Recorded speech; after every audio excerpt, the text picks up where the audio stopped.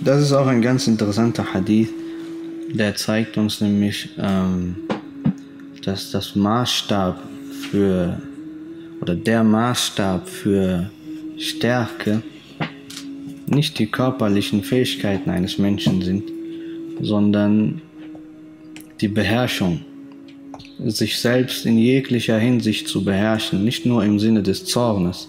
Der Zorn ist nur eine Zorn und Aggressivität, ich nenne es meist nur eine Form der Triebe des Menschen.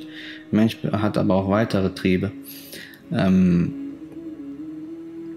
die Ahlul Ilm nennen das Shahwatul Ghadab.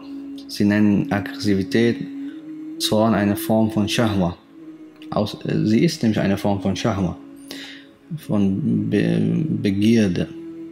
Oder aus ihr resultieren und entstehen Begierden. Zum Beispiel die Begierde, sich zu rächen. Die Begierde, den, äh, die Begierde danach, dem, der den Zorn ausgelöst hat, äh, ihm, ihm weh zu tun, ihm zu, ihn zu verletzen. Oder sich auf irgendeine Art und Weise, wenn es auch nur verbal ist, an ihm zu rächen oder in, ihn in Verruf zu bringen, irgendwie ihm Schaden anzufügen, nicht? durch Lästern oder durch Verbreiten von Unwahrheiten über ihn, durch ähm, Beschimpfen und Diffamieren oder körperlich, äh, körperlichen äh, Schaden anfügen. Das sind Begierden. Deswegen nennen sie das Shahwatul Ghadab. Shahwatul Ghadab. Ähm, und der Prophet setzt hier mit Maßstäben, neue Maßstäbe. Es ist wie eine neue Philosophie, eine Philosophie jetzt nicht das im negativen Sinne, äh, eine neue Maßstäbe für und neue Werte für äh, Stärke eines Menschen, und zwar die Selbstbeherrschung, die Selbstbeherrschung.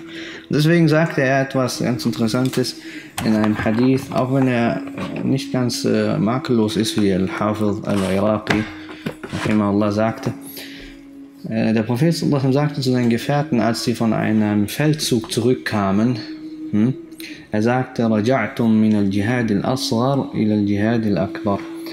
Wie gesagt, der Hadith ist nicht ganz makellos, Al-Hafiz al-Iraqi sagt, er ist daif, aber der Hadith bedeutet, dass er zu ihnen sagte, nun seid ihr vom kleinen Dschihad zum großen Dschihad zurückgekehrt.